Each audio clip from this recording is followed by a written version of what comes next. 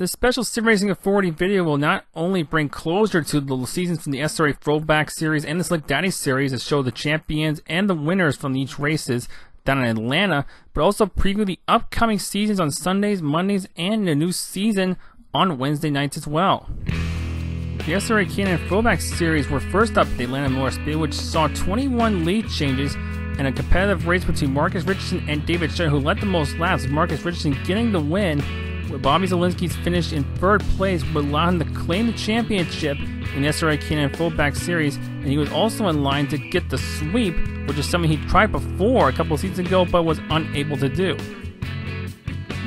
As for the Slick Daddy Gen 6 series, it came to the Atlanta Motor Speedway as well in a fairly competitive race between Marcus Richardson, Nicholas Shelton, and Bobby Zalenski. It would be Nicholas Shelton getting the win over Marcus Richardson.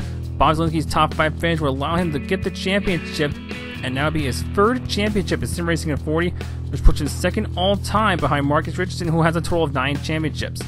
So with that season down at a close, it's time to preview things coming up in Sim Racing Authority. On Sunday nights, the SRA Slam Series will feature the return of the NASCAR Camping World trucks for the first time in three seasons, so a change on Sunday nights. On Monday nights, Sim Racing Authority has a new sponsor, the National Multiple Sclerosis Society, a charity that Sim Racing Authority has started supporting. And those will feature the NASCAR Monster Energy Cup Series cars once again. These races will be on Sundays and Mondays live on YouTube, 7 p.m on Max Speed TV with Rudy Cummings doing the live call.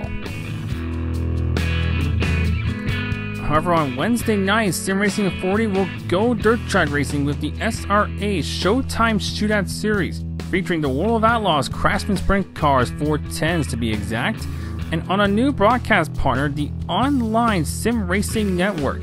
These races will be on Wednesday nights at 7 p.m. on OSR Network.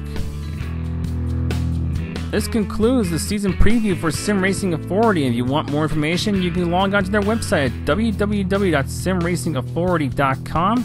And if you'd like to make a donation to the National Multiple Sclerosis Society, you can log on to www.nationalmssociety.org.